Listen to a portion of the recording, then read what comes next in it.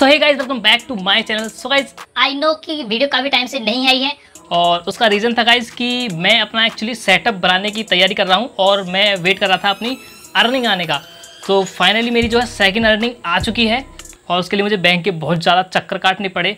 तो दोस्तों उसके लिए अपने सेटअप के लिए मैंने मंगाई यहाँ पे एलईडी फ्लड लाइट्स जो कि यहाँ पे मेरे पास और हम आज ही इसकी अनबॉक्सिंग एंड रिव्यू करने वाले हैं। तो वीडियो को लास्ट तक ज़रूर देखना और अगर आप चैनल पर नए हो तो सब्सक्राइब ज़रूर कर देना और बेल आइकन को प्रेस ज़रूर कर देना। तो चलिए आज की वीडियो को शुरू करते हैं। सो so कुछ इस तरीके का इसका बॉक्स है और ये ए स्टार कंपनी की है और यहाँ पे लिखा हुआ है 60 वॉट और ये 60 वॉट की हमारे पास एलईडी फ्लड लाइट्स है।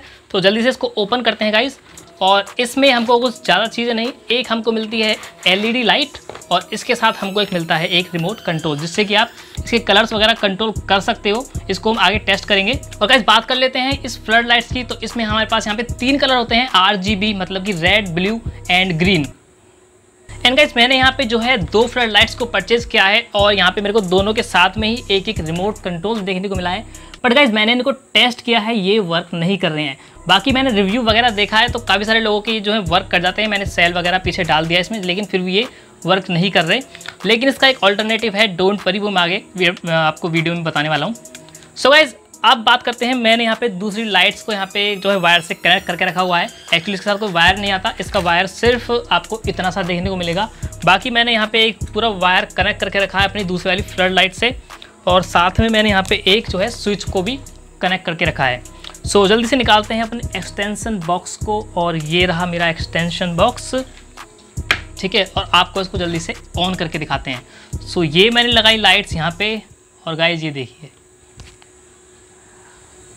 एंड गाइज़ अभी मैं यहाँ पे जो है डे लाइट में शूट कर रहा हूँ तो आपको अभी इतना ज़्यादा कुछ अच्छा इफ़ेक्ट देखने को नहीं मिलेगा। तो अभी फ़िलहाल देख लेते हैं। देखिए, अगर मैं इसको अपनी तरफ़ करूँ तो इस तरीके का कुछ इफ़ेक्ट आता है।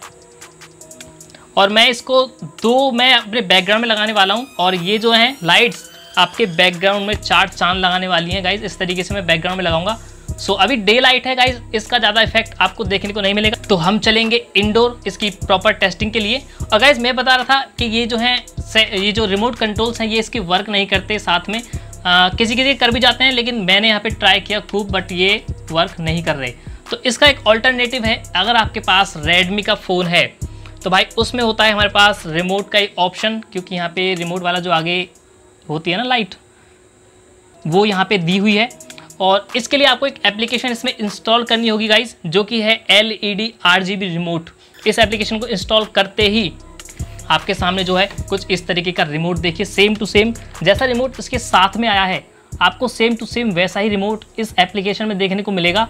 और इसकी सबसे अच्छी बात ये है गाइज़ ये वर्क करता है प्रॉपरली अभी मैं देखिए, इसमें जो ऑफ़ का बटन है, ये रहा ऑफ़ का बटन मैं जल्दी से यहाँ पे दबाता हूँ तो अब देखिए, ये हो गई ऑफ़ और जैसे ही मैं इसको ऑन करूँगा इस बटन से ये हो जाएगी ऑन सो गैस चलिए, अब चलते हैं हम इंडोर और आपको इसको प्रॉपर टेस्ट करके दिखाते हैं. सो so गैस अब आ चुके हैं हम थोड़ा सा इंडोर में और मैं यहाँ पे एक लाइट इधर रख दी है और एक लाइट मैंने इधर रख रखी है.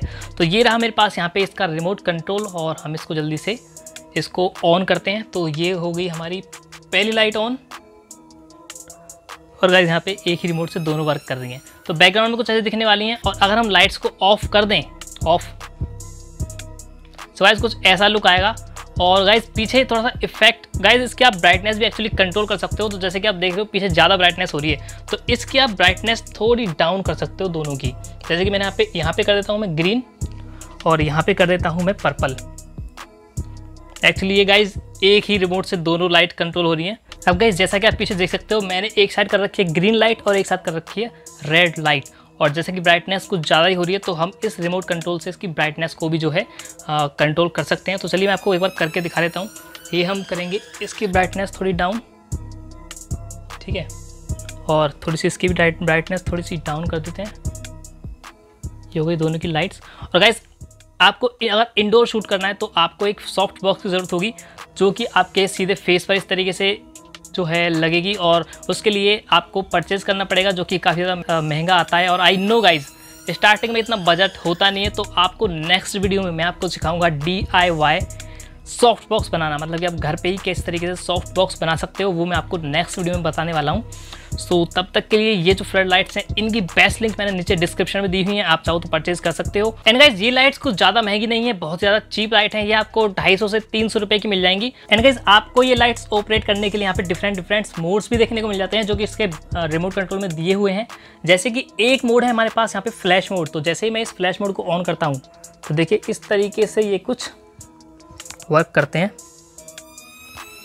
सो so, ये था हमारा फ्लैश मोड अब बढ़ते हैं नेक्स्ट मोड की तरफ़, जो कि है एक फेड मोड तो चलिए फेड मोड को भी दिखाते हैं।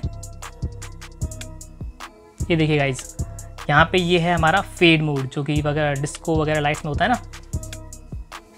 और यहाँ पे एक तीसरा जो सबका फेवरेट होता है, वो है स्मूथ मोड तो स्मूथ मोड को करेंगे तो देखिए कुछ इस तरीके से आपको बैकग्राउंड में जो लाइट्स हैं, वो चेंज होती हुई नज़र आएँगी।